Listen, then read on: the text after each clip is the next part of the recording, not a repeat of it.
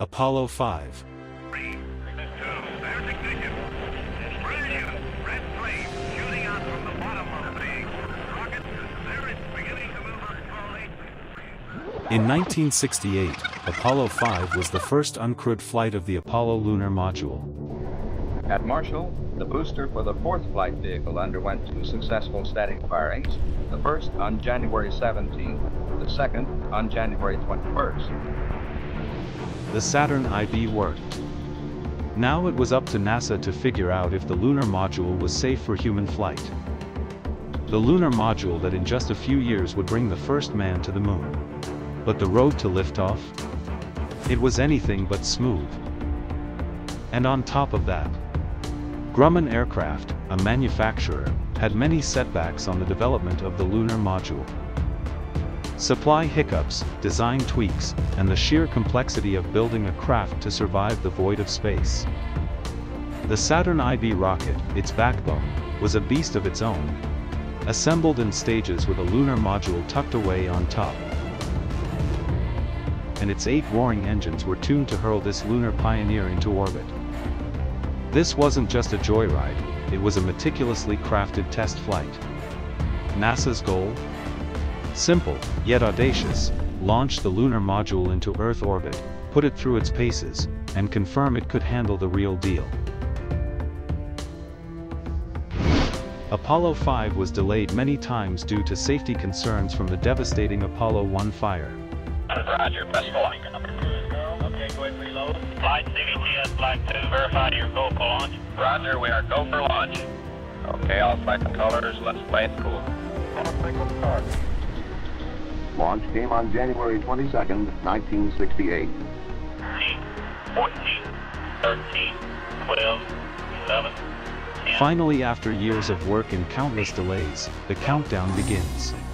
5, 4, 3, Two, there's ignition. Brilliant. Red flame shooting out from the bottom of the rocket. There it's beginning to move up slowly. Transmit 5 enter. Climb start, 5 enter. Thrust up, okay. For two and a half minutes, those first stage engines burn hard, pushing the stack to 42 miles up and a speed of 3,500 miles per hour. The spent first stage drops away, tumbling back to Earth. The adapter panels peel away like petals on a steel flower. Once the spacecraft reached orbit the lunar module separated and orbital testing began. But, the spacecraft was not going fast enough. This caused the Apollo guidance computer to automatically abort an engine burn. Mission Control in Houston quickly moved to an alternate mission to maximize science of the lunar module. But something goes wrong. Instead of the full 38 second burn, the engine shuts down after only 4 seconds. Roger, An early look at the data indicates the onboard computer did not allow for the tolerances and errors within this most complex of all missions. I guess our best plan here, and I think the way we're going to go, go ahead, is alternate Charlie. Go ahead. In the attitude you've got, go ahead. At 6.15 elapsed. Go ahead. Okay. The results? All of the mission testing goals for the lunar module were accomplished. The mission was successful enough to cancel a second test, and ultimately advancing NASA's mission to the moon. The purpose of the Apollo 5 mission was to initiate the series of flight tests that will ultimately qualify the lunar module for its part in the lunar landing mission.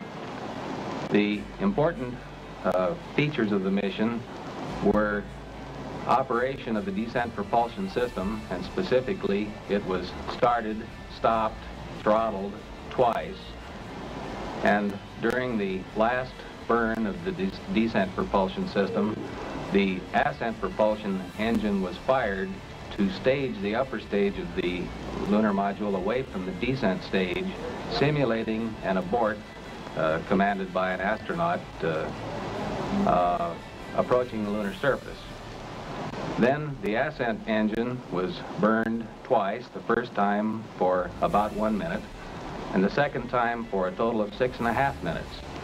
The objectives of the mission uh, were achieved and it was very successful uh, and fulfilled its part in the series of missions that constitute uh, the steps in getting to the moon. Thanks for watching.